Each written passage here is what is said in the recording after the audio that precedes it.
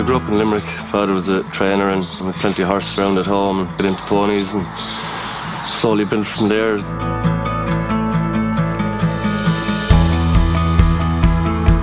It's vast, but it's relaxing for horses. You've, you've a lot of open ground, a lot of scenery. It's just a beautiful place to train.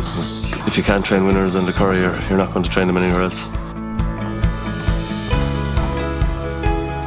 Looking forward to the Curragh Thoroughbred Trail on the 10th of September. It'd be nice to bring a few people in, uh, allow them to have a look around and show them the facilities we have here.